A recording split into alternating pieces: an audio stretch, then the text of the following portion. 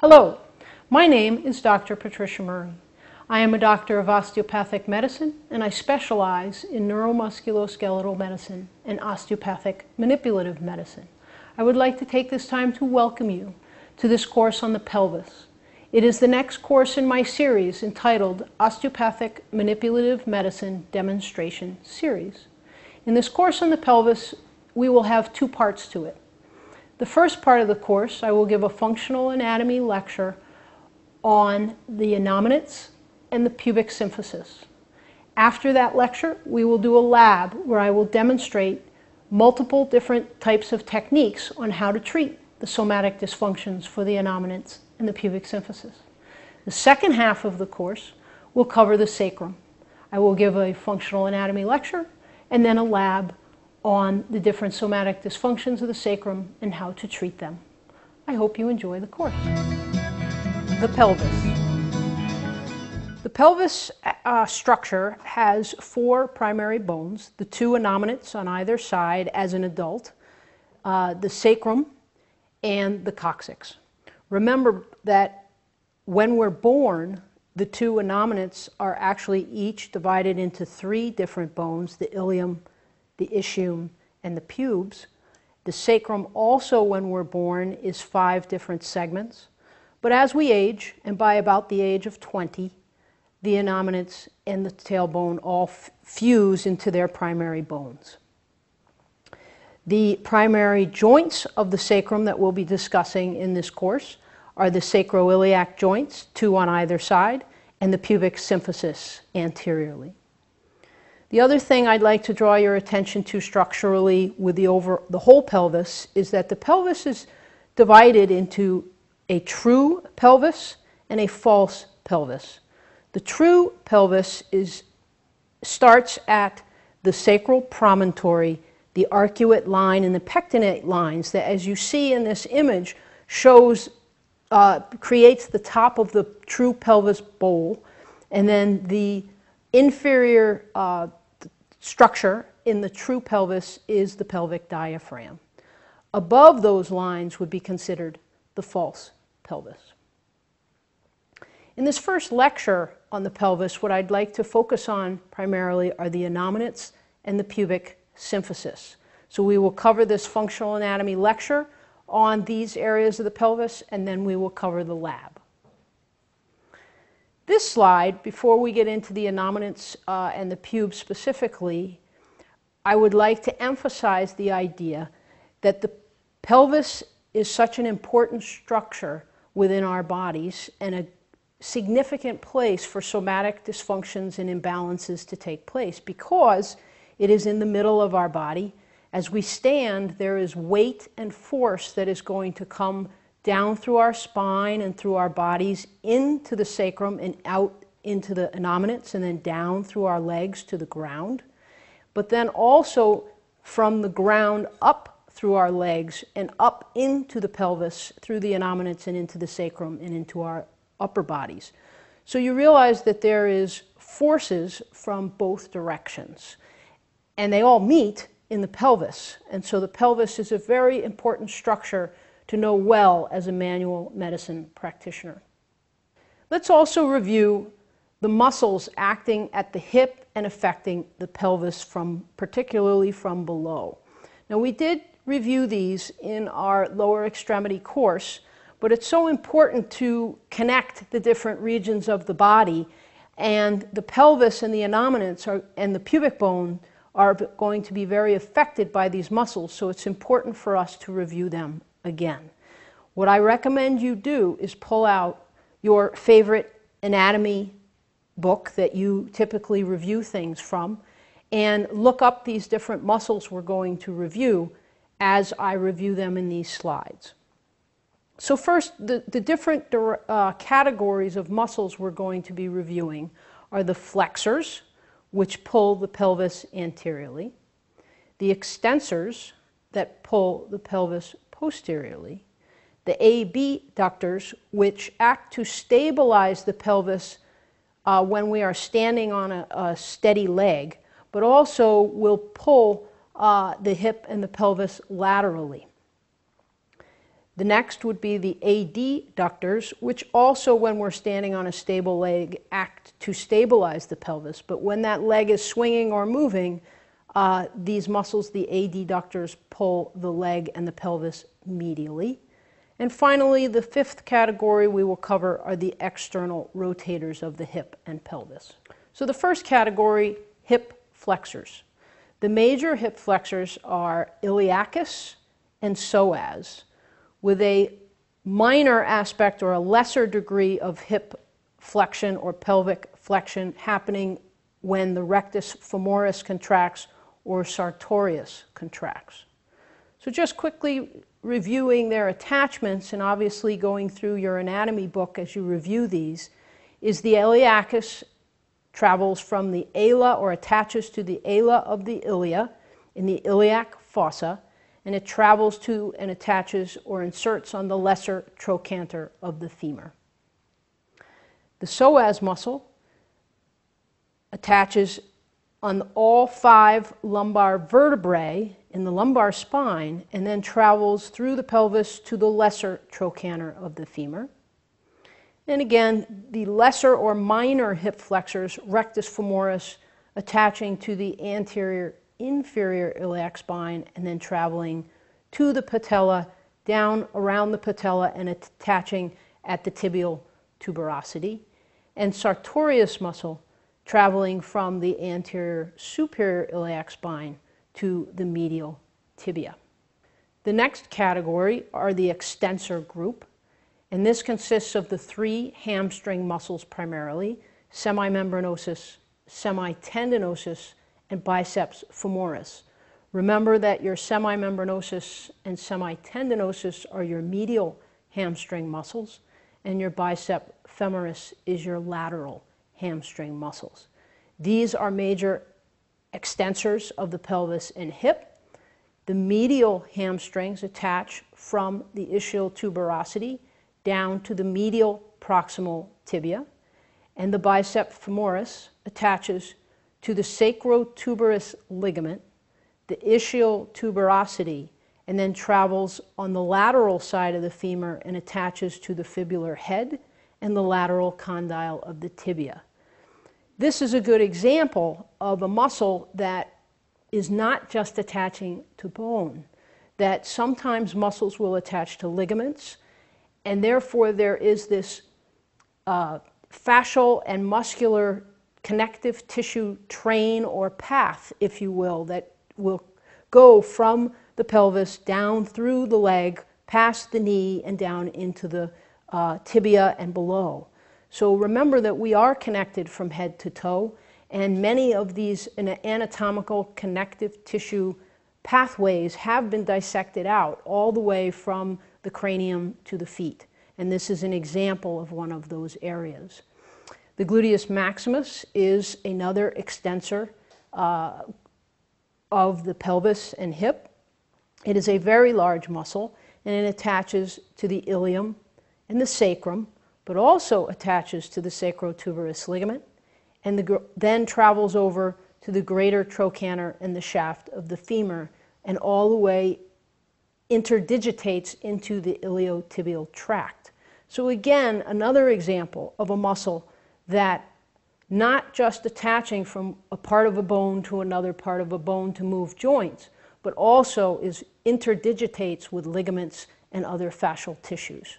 The next category, the abductors, this group includes gluteus medius, gluteus minimus, and to a more minor effect, the tensor fasciae lata. The gluteus medius and the gluteus minimus both attach to the ilium, and basically the gluteus medius just sits more superficially on top of gluteus minimus, which is deep to it. And they both go over and attach to the greater trochanter of the femur, and when they contract, they primarily abduct the hip and pelvis. The next category, the adductors, and this group includes the adductors. The adductor magnus, the adductor brevis, and the adductor longus are the primary adductors of the pelvis and hip, but also gracilis and pectineus.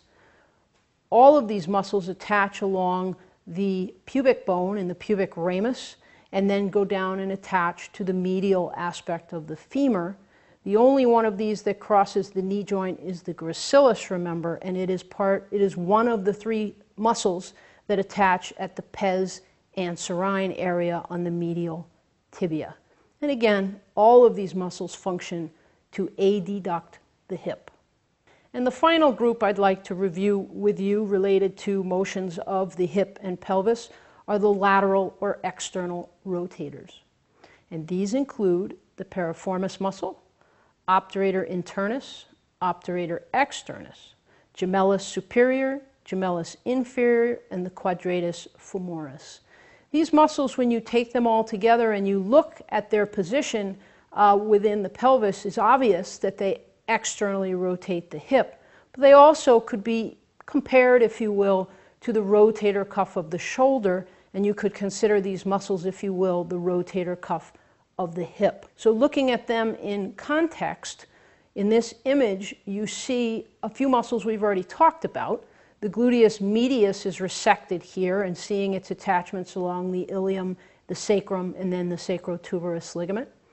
You also see cut back the gluteus medius and it seeing where it would overlie the gluteus minimus that's deep to it. The next muscle to draw your attention to is the darker, more dark red muscle, which is the piriformis. And remember, the piriformis attaches to the anterior surface of the sacrum and then over to the greater trochanter. Uh, you'll see the sciatic nerve running in this image inferior to the piriformis muscle, and in majority of us, that is true. But remember, in a small uh, percentage of the population, that sciatic nerve may pierce the piriformis muscle, and people with that instance may be at more risk for piriformis syndrome, where the sciatic nerve gets impinged or pinched when the muscle contracts and they get a burning, radiating pain down the back of the thigh. Inferior to the piriformis muscle is where you see the rest of the external rotating group. And the next one, just inferior to the piriformis, is the superior gemellus, and then the obturator internus, where you see it dives deep to the sacrotuberous ligament and covers the obturator uh, foramen.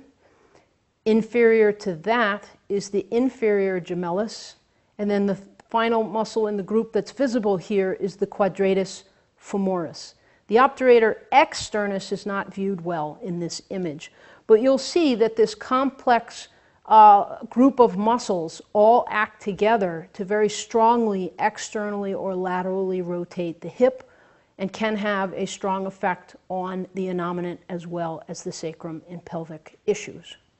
To review just a little bit more about the piriformis, because it's such a unique muscle, again, as I said just a moment ago, a small percentage of the population, 10 to 12 percent of the population, that sciatic nerve can pierce the piriformis and cause sciatic problems and sciatic syndrome.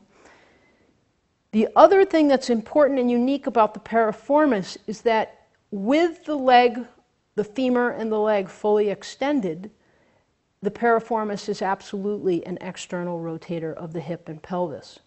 But if you bring the hip into full flexion, actually the line and the, and the contraction of the piriformis will actually cause internal rotation of the hips. So keep that in mind as you're working with these areas.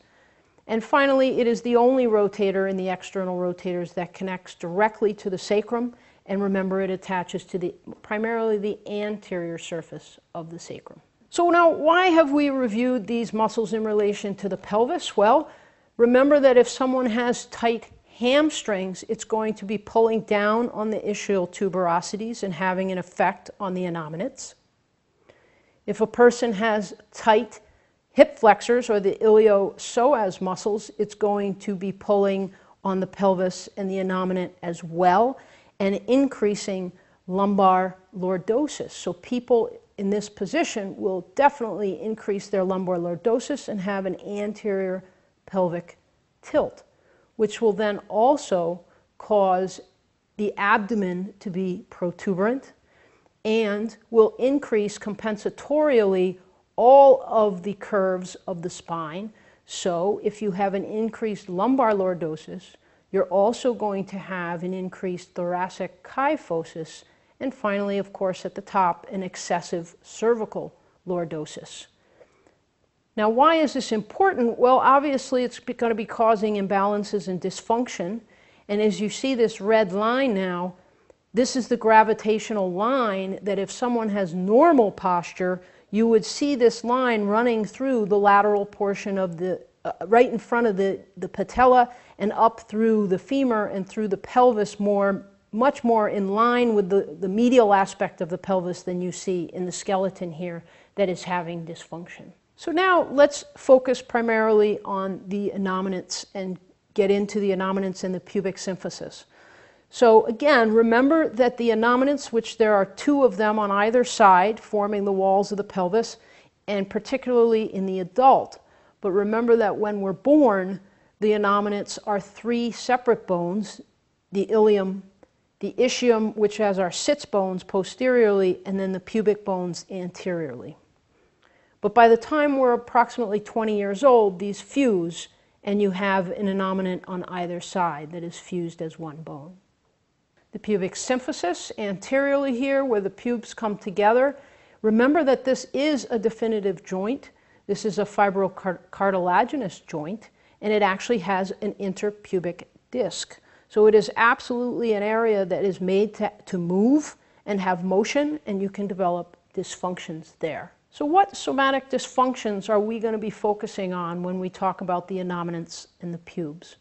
Well, first we're going to talk about the innominates can rotate. They can rotate forward or anteriorly, or an innominate can rotate backward or posteriorly. An innominate can shear, which means one innominate can move superiorly or cephalad in relation to the sacrum, or an innominate can move caudad or inferiorly in relation to the sacrum. And so when you compare one innominate on, on the left, let's say, to the innominate on the right, your findings in their different landmarks you're going to be looking at are going to not be symmetric. The next somatic dysfunction we will be evaluating and evaluating for and diagnosing is innominates can flare. An innominate can flare out and an innominate can flare in. And this is measured by the position of the anterior superior iliac spine relative to the midline, such as the umbilicus. And the, so with the innominates, they can rotate, they can shear, or they can flare. And then the pubic bones in relation to each other can also shear. So the pubic symphysis can have a dysfunction where one pube is superior in relation to the other, or one pube is inferior in relation to the other. So now, in order to diagnose these different somatic dysfunctions, there are certain palpatory landmarks that we're going to need in order to compare one side to the other. And the anterior palpatory landmarks for the pelvis that are going to be very important to us are the anterior superior iliac spine, or the ASIS, then the pubic symphysis, the iliac crests, and the greater trochanters. Of this list, the ones we will be using constantly and the most are the ASIS and the pubic symphysis. And here is an image that shows you these different landmarks as pointing to the skeleton. So the red arrow is pointing to the anterior superior iliac spine. The purple arrow is pointing to the iliac crest heights. The green arrow is pointing to the anterior portion of the pubes where the pubic symphysis is. And the yellow arrow is pointing to the greater trochanters of the hips and the femur. The palpatory landmarks that we'll be utilizing in the pelvis are the posterior superior iliac spines, the sacral sulci, and the ischial tuberosities. And of course, we'll be going over these in lab on exactly how to find them, but on a skeleton to see where these are, the posterior superior iliac spines, you'll notice the red arrow in the skeleton is pointing to that. And you will see that it's a big, knuckly, bony area on the posterior aspect of the innominate. Now, If you were to put your thumbs on the, on the posterior superior iliac spines and drop medially off the PSIS, you will drop into where the yellow arrow is showing you the sacral sulci.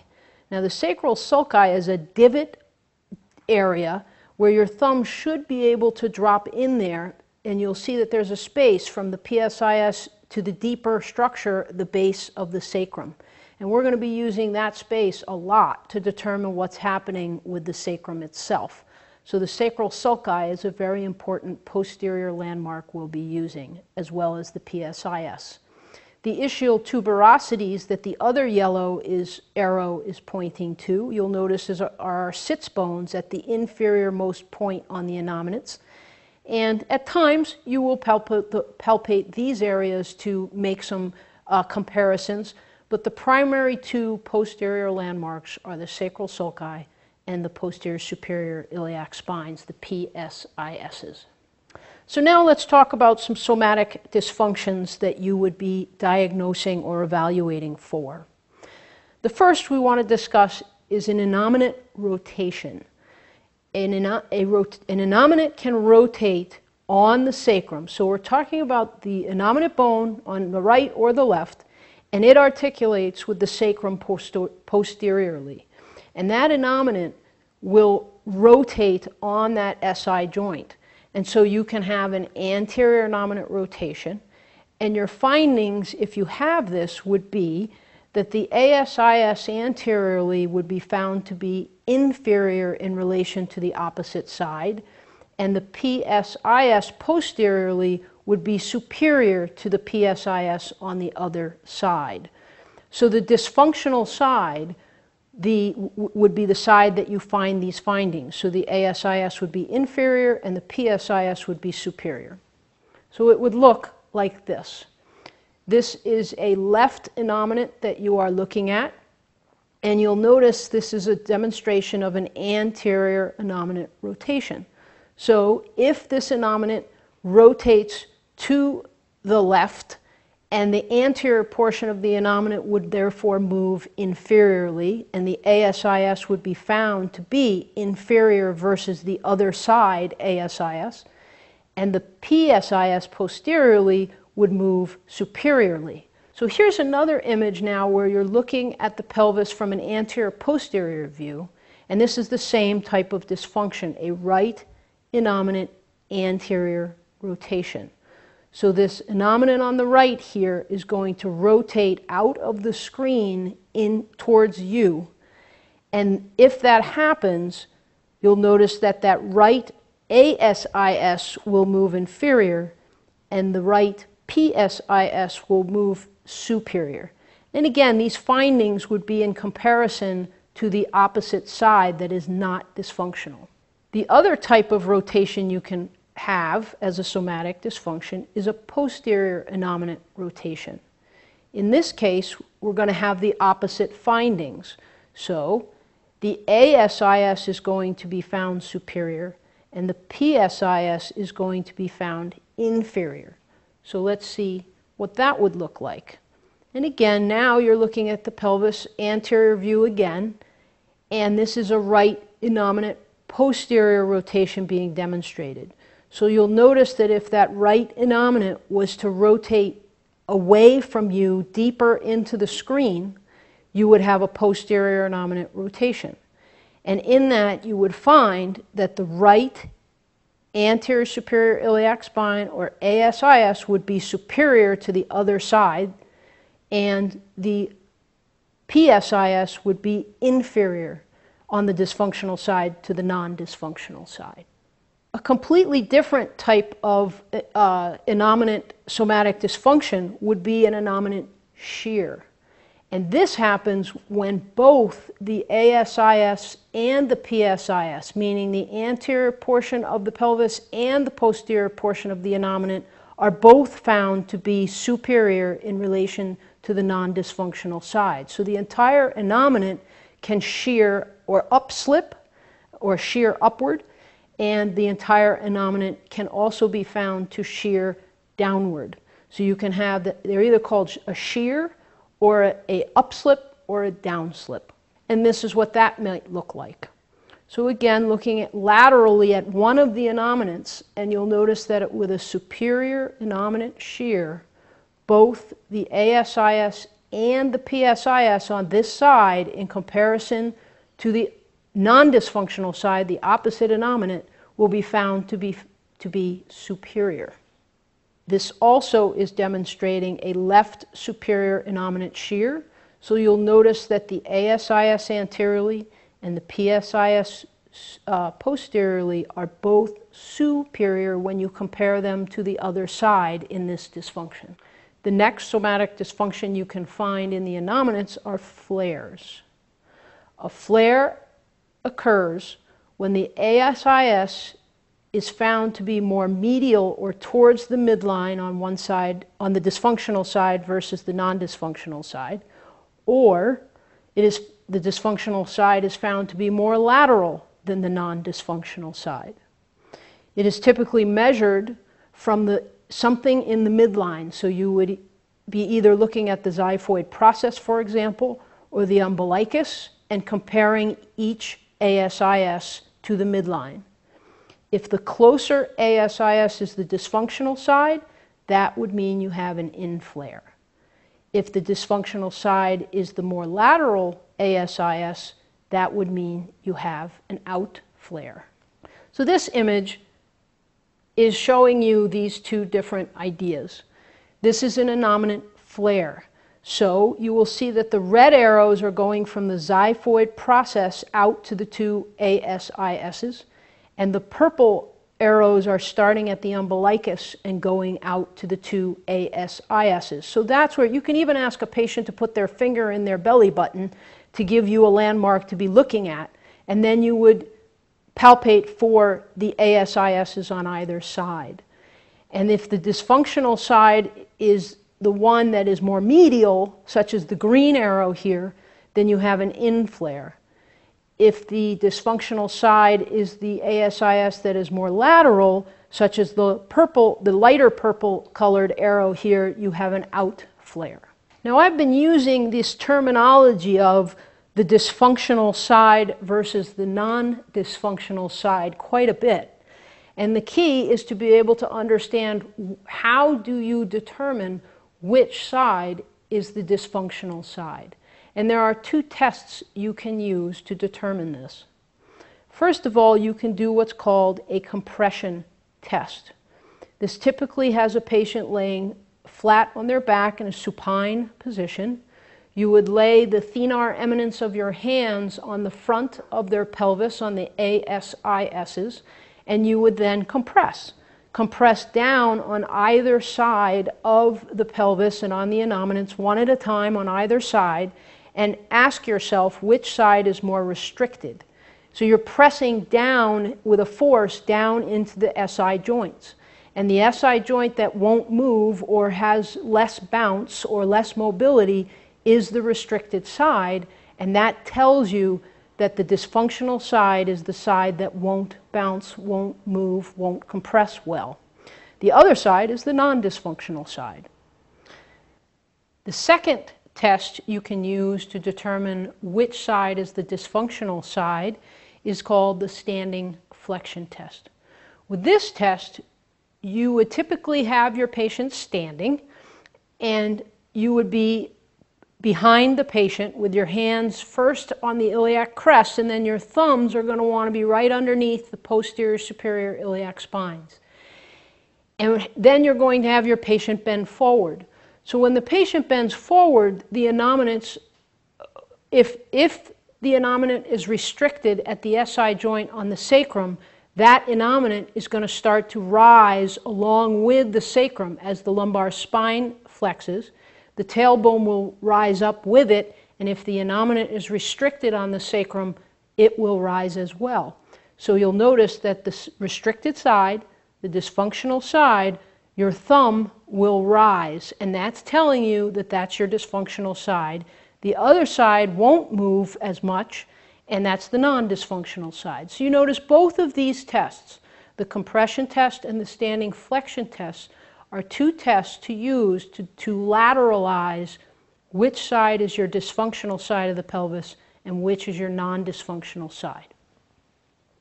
The next somatic dysfunction I'd like to discuss are called the pubic shears. A pubic shear is found when the pubic ramus on the dysfunctional side is either superior or inferior to the pubic ramus on the non-dysfunctional side.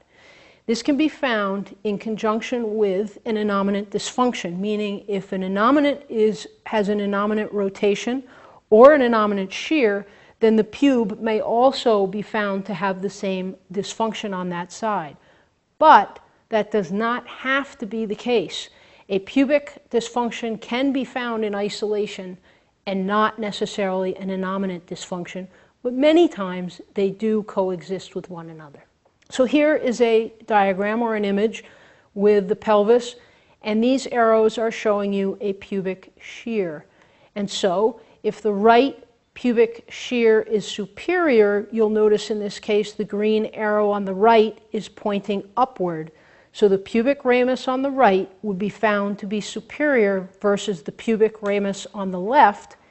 And when you do the, comp the compression test or the standing flexion test, those would typically, in this diagnosis, be found to be positive on the right. Now, at this point, we've reviewed the primary somatic dysfunctions of the innominates and the pubes.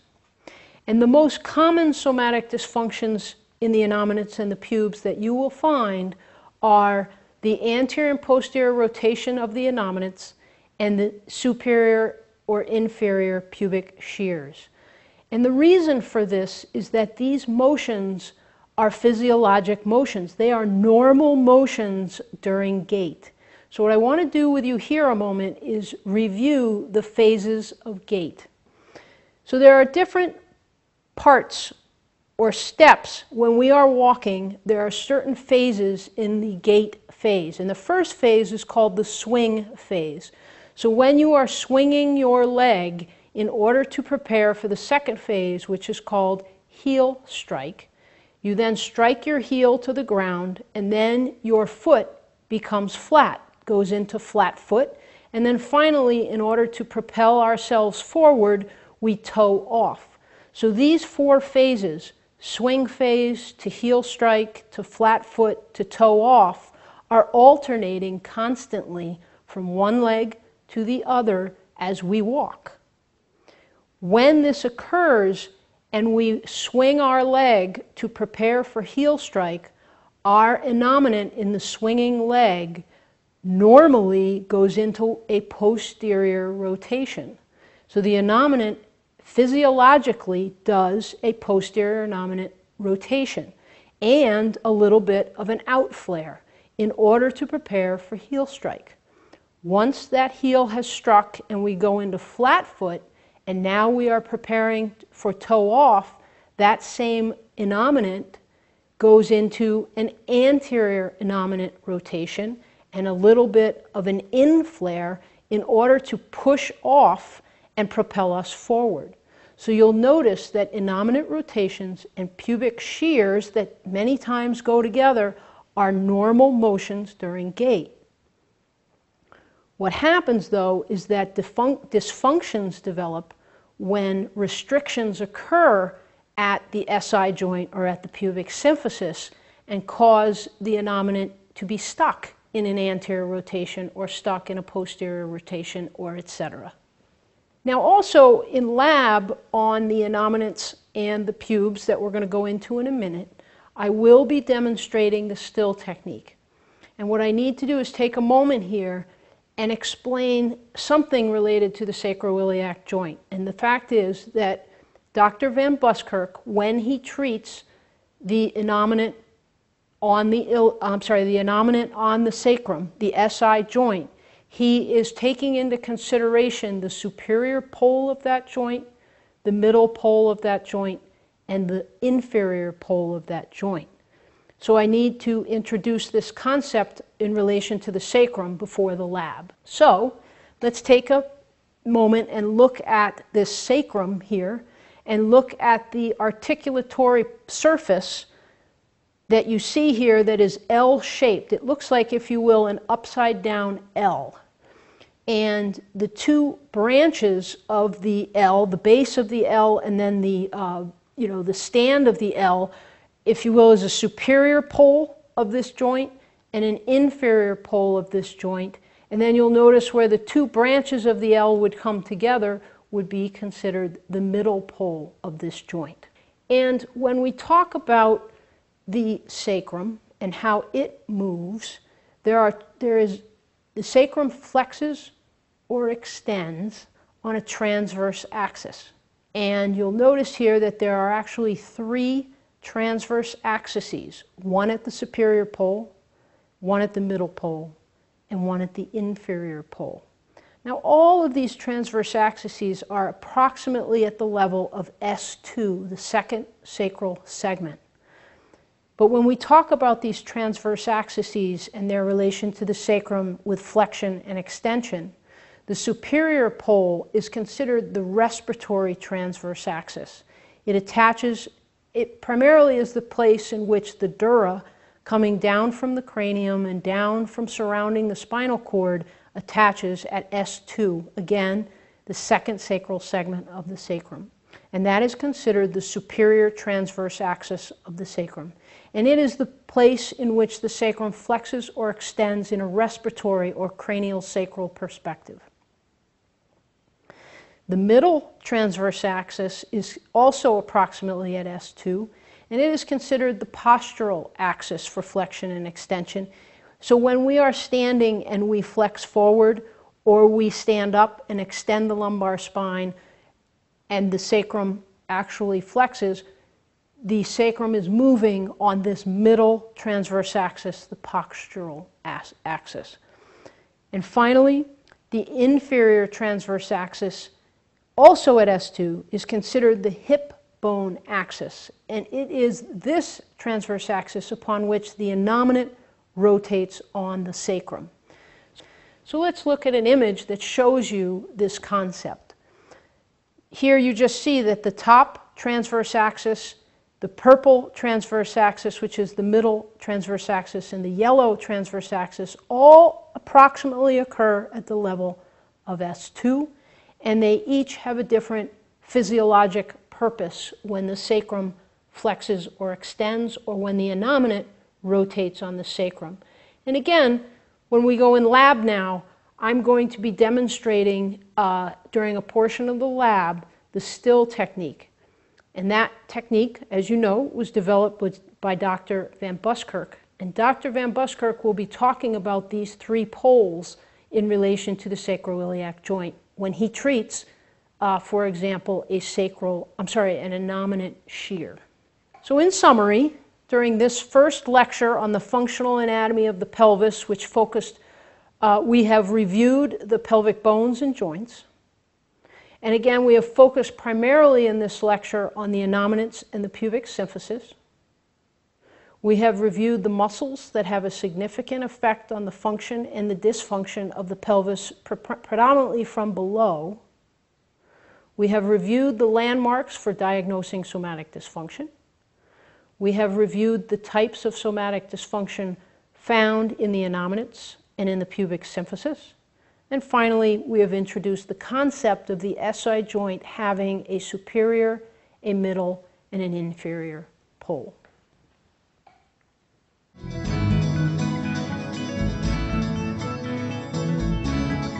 To learn more about how to continue taking these courses, please go to my website,